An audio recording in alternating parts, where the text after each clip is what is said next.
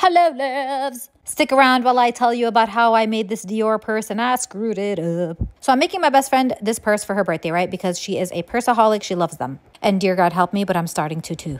Anywho, it was supposed to be a surprise, but I already told her about it because she messaged me one time and she's like, we need to get Christian Dior's attention on TikTok. How can we do it? I was like, girl, that would be a dream.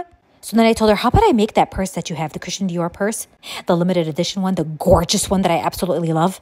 And she was like, yeah, then we can get everybody to tag them. And I'm like, yes. So I literally borrowed her purse that's sitting on the side so I can get a good look at it. And it's got this beautiful, intricate design. And she's like, you could totally paint that.